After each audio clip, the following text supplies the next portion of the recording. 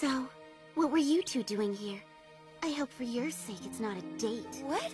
Uh, of course not, Hinata. What are you saying? If you lay your hands on him, I'll kill you.